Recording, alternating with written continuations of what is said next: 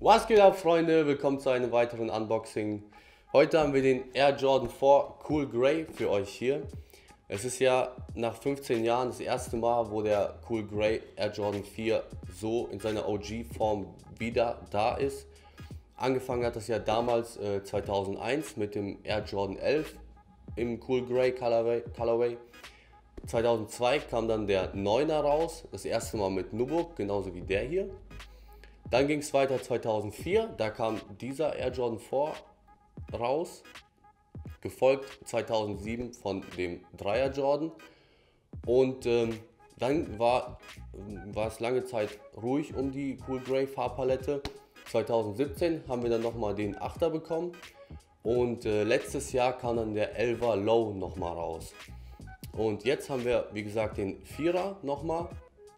Ich bin muss ich direkt mal vorweg sagen, direkt äh, sehr begeistert von der Verarbeitung vom Schuh, weil viele haben ja gesagt, ja, ich muss erstmal gucken, ob der so gut verarbeitet ist und nicht so wie die, wie die letzten Drops. Aber das Ding ist echt eine Maschine. Also wir haben auf dem ganzen Upper äh, das Nubuck Leder, das ist echt butterweich, fühlt sich richtig, richtig gut an komplett grau, also im Cool Grey Colorway. Wir haben so einige Akzente wie hier, zum Beispiel das, den Flight-Schriftzug in Gelb oder hier auf der Außensohle den Jumpman und hier noch den Bereich in Gelb, sowie hier auf der inneren Seite der Zunge nochmal den Air Jordan Schriftzug in Gelb.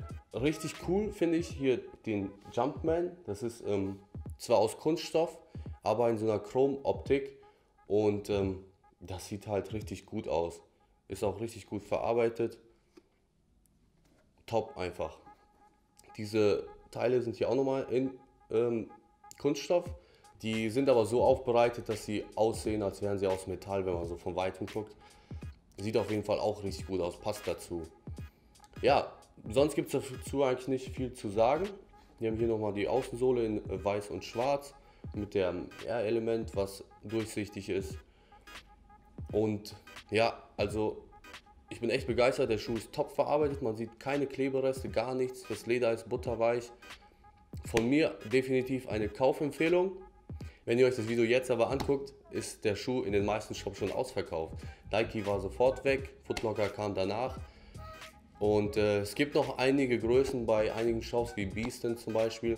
Äh, es kommt dann unten in die, Link in die Videobeschreibung, könnt ihr nochmal nachgucken. Wenn ihr den noch nicht habt, auf jeden Fall koppen. Ansonsten sehen wir uns beim nächsten Mal. Peace out.